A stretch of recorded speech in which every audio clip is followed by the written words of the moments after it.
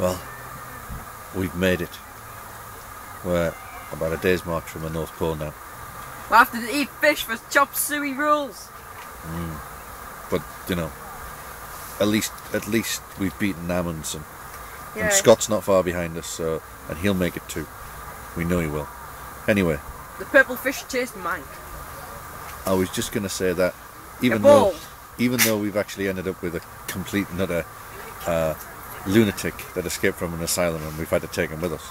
Um, we've done quite well on our journey and uh, we're close to completion and, and basically, you know, as far as I'm concerned, it's going to be great.